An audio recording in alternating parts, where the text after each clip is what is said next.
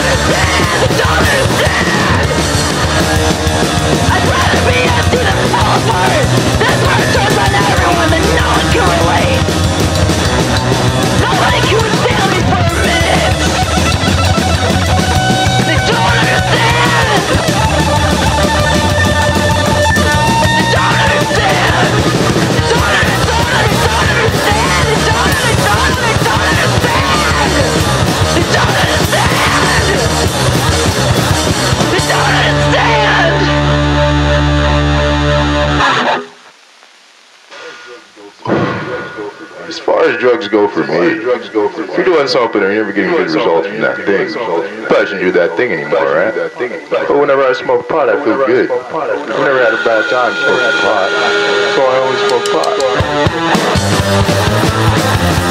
Praise the Lord and you shall die.